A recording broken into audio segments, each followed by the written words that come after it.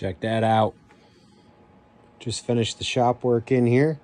We took an old solid oak dining room table, chopped it down, layered it up.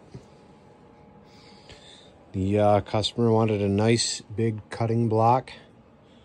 So that's what we made.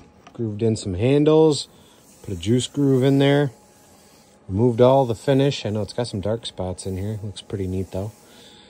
And uh, yeah, now it's ready for some oil. That's what we'll do next. We'll add some oil.